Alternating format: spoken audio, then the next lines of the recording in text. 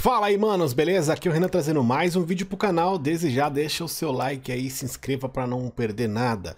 Hoje eu vou mostrar para vocês e vou instalar junto com vocês o Options File do PES 21 no PlayStation 5. Muita gente tem dúvida se funciona mesmo, como que é, se é a mesma coisa.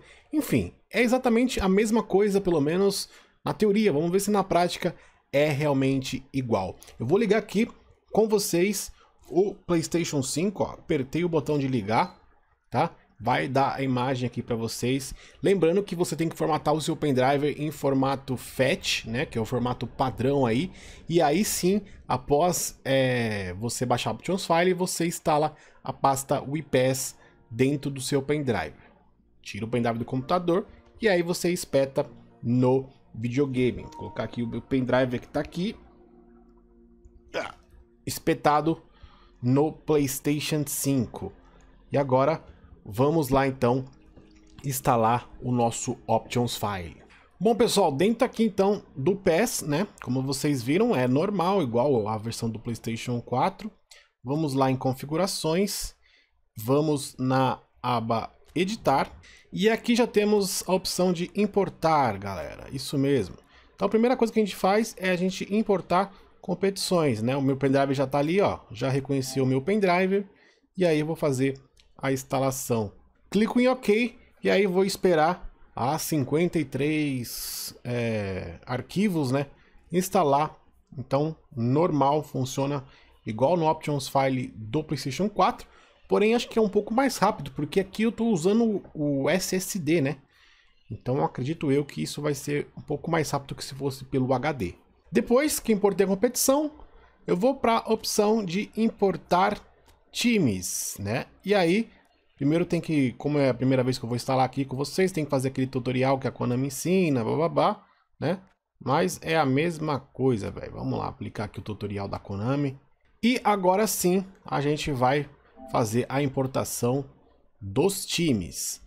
Beleza? Eu baixei aqui o Options File da, da PES Universo, é o que eu, na verdade, é o que eu já tinha aqui é, baixado, né? Mas você tem a opção de baixar de quem você quiser. Inclusive, eu recomendo do PES Vício, Luiz do PES Vício. Inclusive, vou deixar o link dele aqui na descrição, tá bom? Para vocês entrarem no canal dele lá. Lá ela ensina passo a passo como instalar. Aqui é só pra gente ver que de fato funciona no PlayStation 5, tá? Bom, depois que eu selecionei os arquivos que eu quero, eu venho aqui nessa primeira opção. No caso, como aqui eu não preciso aplicar dados e nada, é só dar um OK e aguardar terminar aí a primeira etapa do Options File. Vamos ver.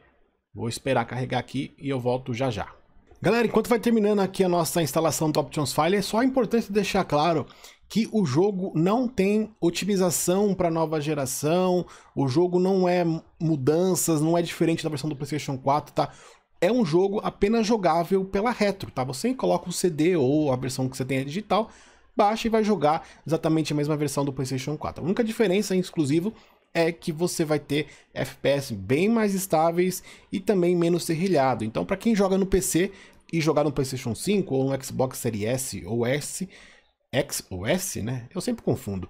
Você vai ter basicamente o gráfico que a galera tem hoje no PC. Tá? Mas assim, não tem mudança nenhuma. PES 22, esse sim vai ser o PES de nova geração. Terminamos aqui a nossa Options File, nossa primeira etapa. Eu não vou instalar tudo agora, só para a gente ver aqui como que já ficou, tá? E é isso, ó. a gente vai voltar aqui. Então vamos lá em jogadores, editar, e aí você já vê, ó, todas as ligas 100% licenciadas aqui no PlayStation 5, tá? Vamos usar aqui como exemplo a Liga Santander. Então você tem aí todos os times 100%, ó, Real Madrid, tá?